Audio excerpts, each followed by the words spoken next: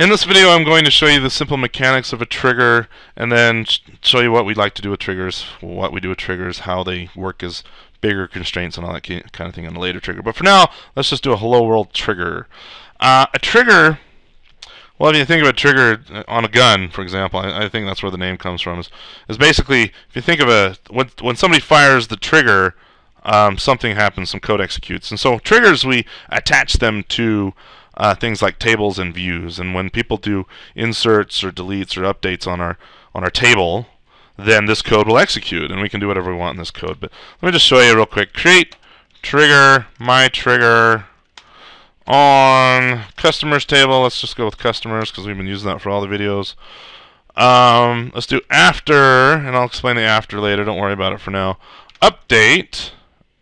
Uh, and let's do an insert too. After update or insert, basically saying let's run this trigger when they update something on our table or insert it into our table.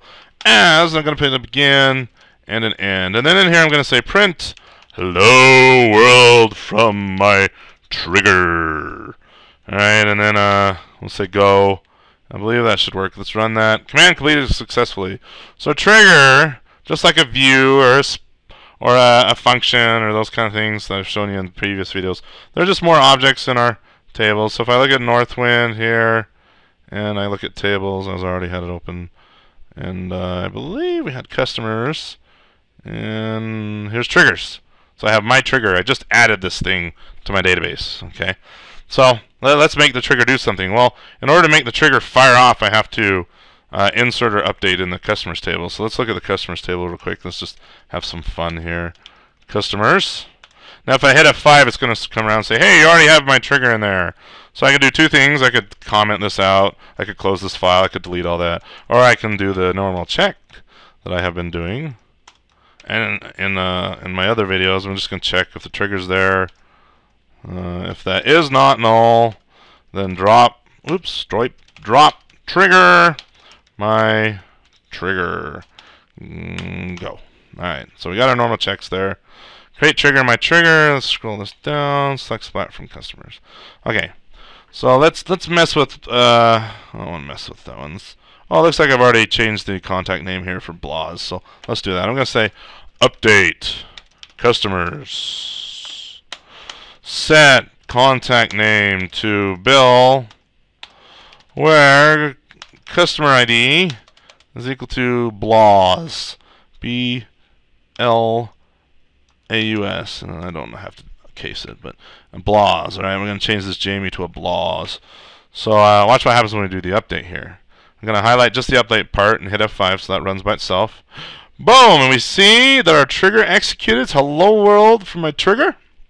One row is affected. So notice the trigger the, tri the trigger ran and then we get the message. So part of doing this uh, update was firing off this trigger, making this trigger go. And if I select Splat from customers, we'll see I have uh, Bill here for Blaz. So the update still occurred, but then this little side code was triggered or fired when we did our update. Okay, and I said it would because it said update here. In fact, let's just delete that.